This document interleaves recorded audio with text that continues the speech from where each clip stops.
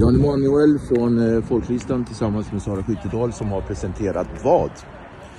Ett förslag på hur vi ska göra kriminalvården mer effektiv, mer ekonomisk och också mer rättfärdig. Vi vill att man ska kunna avtjäna straffet i andra länder än i Sverige inom Europa.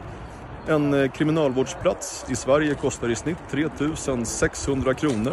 En eh, kriminalvårdsplats i Bulgarien till exempel kostar 66 kronor per dygn. Och det har vi försökt att exemplifiera med de här falukorvarna för att det ska bli tydligt för var och en. Varför falukorvar? Som Ja, det, symbol? är, det är ett sätt för att driva lite med Ebba. Det är en tjej som är ordförande för ett eh, parti som tidigare var kristet.